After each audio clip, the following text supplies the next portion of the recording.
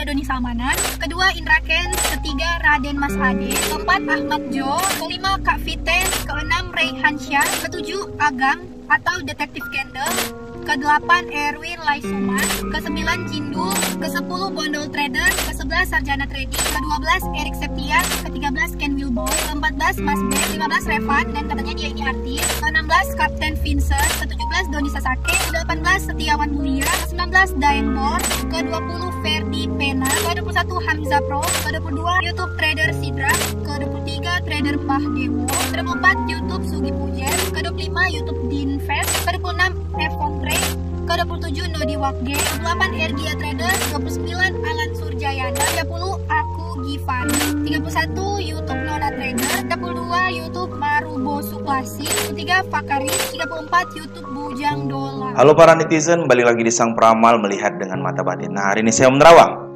Oke, afiliator. Yang banyak ini afiliator, afiliator yang awalnya menunjukkan kemewahan, kini buru-buru menghapus kontennya dan mengatakan mundur dari menjadi afiliator.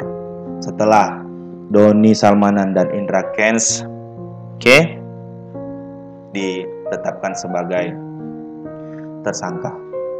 Nah, siapa saja lagi?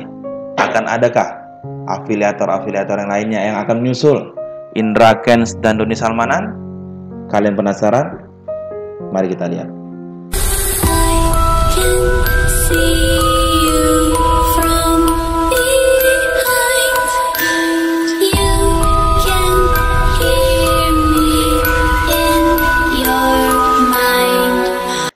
Ini adalah impian seluruh anak muda menjadi kaya dengan singkat di usia muda. Namun dengan ya dengan cara yang mudah. Tapi ya tak seperti ini juga.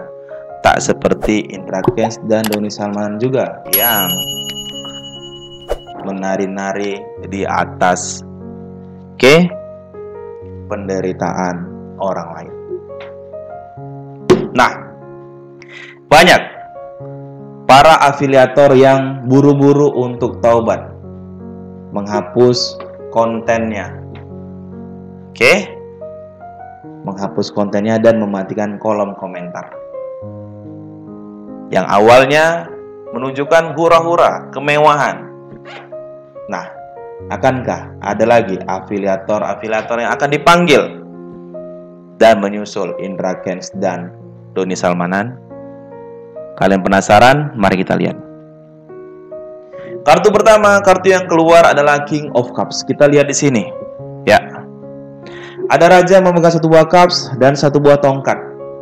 Di depannya ada gelombang. Nah, saya melihat dengan mata batin saya, pihak kepolisian akan terus mengejar para afiliator-afiliator. Dan buat kawan-kawan yang merasa dirugikan. Oke? Karena sudah kepincut dengan ya mulut manisnya para afiliator. Ya, boleh ya segera ke pihak berwajib ya. Kita buka lagi. Kartu kedua yang keluar adalah Three of Pentacle. Nah, kita lihat di sini. Ada orang yang memahat dinding dan ada orang yang melihatnya dan ada tiga buah koin di atas orang ini. Saya melihat dengan mata batin saya. Awalnya ya, afiliator-afiliator ini adalah sosok pemuda yang suka pamer. Oke, okay? sehingga banyak ya pemuda-pemuda di luar sana yang pengen kaya dengan cepat kepincut dengan keberhasilan para afiliator-afiliator yang kini ya dari sultan menuju rutan. Kita buka lagi. Kartu ketiga yang keluar adalah The Hermit. Kita lihat di sini ada seorang pria tua memegang satu buah koin dan memegang satu buah lentera. Nah, saya melihat dengan mata batin saya. Para afiliator-afiliator ya, Indra Kens dan Doni Salmanan menjadi ya trendsetter awalnya. Awalnya menjadi trendsetter bagi pemuda-pemuda yang ya memiliki uang berlebih bahkan yang tak punya uang juga. Pengen menjadi seperti mereka. Oke? Ada kaya yang instan ternyata. Tapi ya menurut saya tak ada kaya yang instan. Semuanya harus penuh kerja keras penuh ya keringat darah yang harus dikucurkan. Nah, kita buka lagi tiga kartu yang berikutnya. Siapa lagi yang akan menyusul? Doni Salman dan Indra Kens.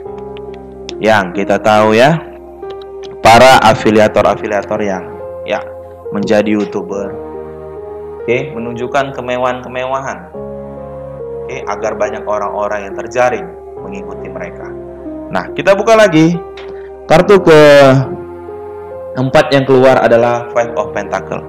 Kita lihat di sini ada orang-orang yang terseok dan ada lima buah koin di sampingnya. Nah, saya melihat dengan mata batin saya banyak ini para afiliator-afiliator yang coba menghilangkan bukti-bukti. Oke, tapi ya tentunya pihak berwajib ya akan terus mengusut hal ini.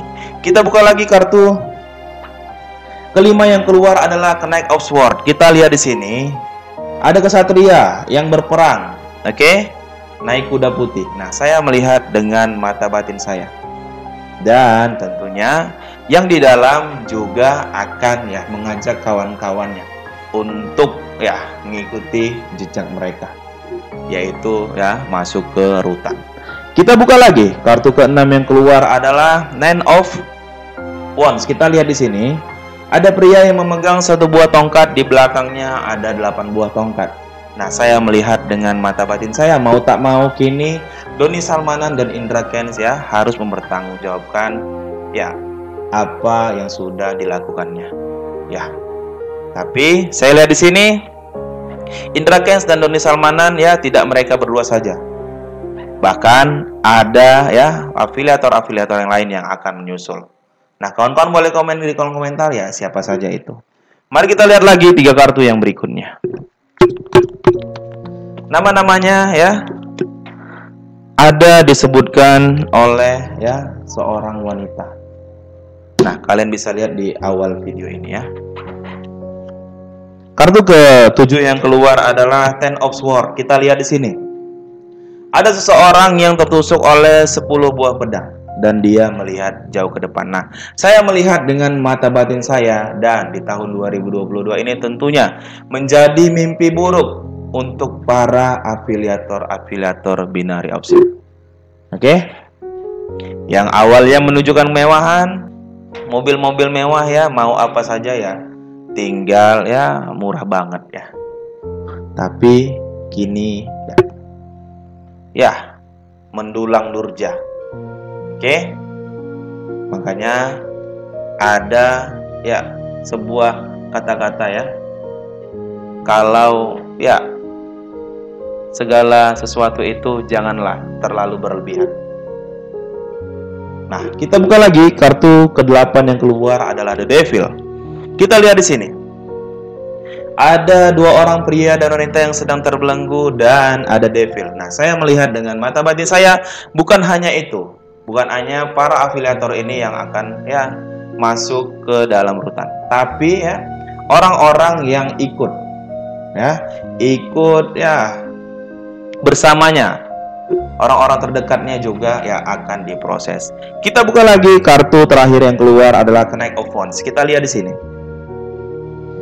Ada kesatria yang di bajunya adalah menghewan yang apabila ekornya diputus kemudian ekornya bisa tumbuh lagi dan dia memegang satu buah tongkat. Nah, saya melihat dengan mata batin saya pelan-pelan ya sudah disita ya barang-barang mewah milik para afiliator. Dan ya ini sangat memilukan. Oke. Saya lihat di sini bukan hanya Indra Kens dan Doni Salmanan yang akan menuju rutan, tapi dia akan ya membawa kawan-kawannya. Knight of Sword. Tentunya pihak berwajib ya akan sekuat tenaga. Walaupun ya ada para afiliator-afiliator yang sudah ya menghilangkan jejak, menghapus konten-kontennya dan Five of Pentacle. Oke. Okay? Doni Salmanan dan Indra Kes ini ah, awalnya menjadi trendsetter bagi para anak-anak muda yang pengen cepat kaya.